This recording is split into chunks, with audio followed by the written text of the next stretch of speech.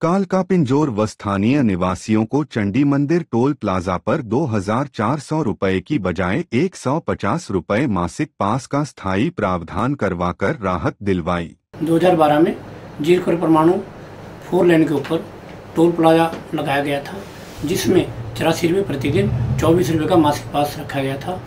हमने जब लोगों ने हमें बताया तो हमने मिलकर पंजाब हरियाणा हाई कोर्ट में एक जनहित याचिका दायर की जिसमें कालका पंजौर के आसपास के जो लोग हैं, उनके लिए एक सौ की व्यवस्था पास की करवाई।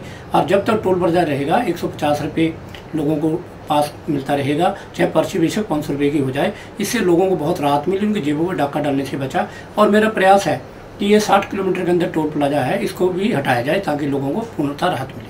कालका पिंजौर के संपूर्ण विकास के लिए 19 जून को कुर्सी के सामने वाला बटन दबाएँ, विजय बंसल को विजयी बनाएँ।